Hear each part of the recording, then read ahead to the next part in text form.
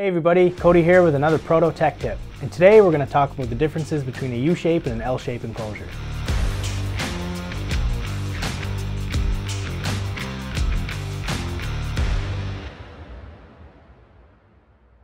So U-shape and L-shape enclosures are two of the most common enclosure types because they are both versatile and relatively easy to manufacture.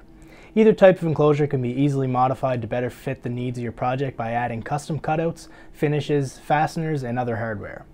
So both U-shape and L-shape enclosures have unique strengths and weaknesses which will be best suited for certain projects. U-shape enclosures, also sometimes referred to as clamshell enclosures, are one of the most simplest types of enclosures to design and manufacture. They are made by bending two pieces of sheet metal to form the shape of a U. The enclosure is assembled by dropping one piece onto the other and secured using the fasteners of your choice. Because of U-Shape's ease of manufacturing, they are suggested whenever possible to keep costs down. They can also solve a number of design challenges in their unmodified form, or they can be easily be modified as required.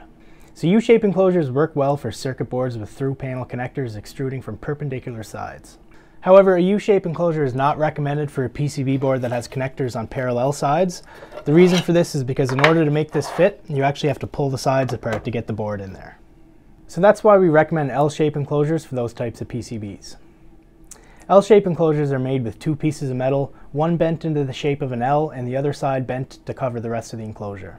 So the shape of the enclosure allows you to line up the connectors on one side and then slide the rest of the enclosure over to line up with the other side. So you can see here the board fits in here and the cover has the back connectors on the back and slides over to fit. L-shape enclosures are slightly less common than U-shape, but are ideal when dealing with PCBs that have through panel connections on opposite sides.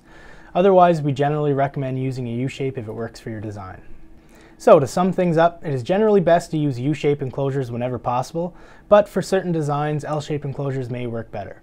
If you're confused about which style best suits your design, our account managers or engineers can answer any questions that you may have or you can check out our blog about when to use L-shape enclosures or our website for much more information on enclosure design guidelines.